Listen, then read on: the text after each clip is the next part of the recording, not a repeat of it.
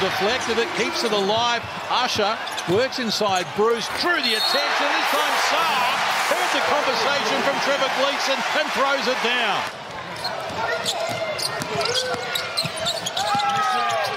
Webster for Sarr. Blocked by Usher. Now Sarr trying to take it coast to coast. Foul and one.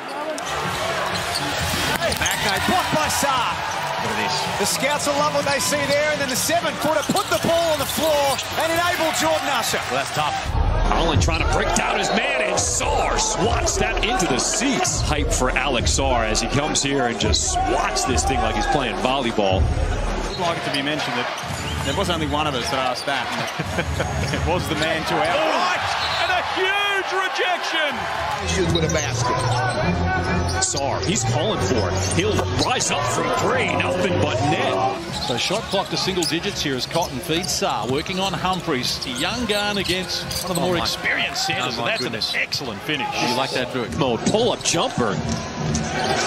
Rebound to Sarr, and he throws it back with authority. Should use one. Oh, Boyle tried to take it right at Sarr. Got it sent back the other way. Here we go. Tooted Dang. Here we go. Wildcats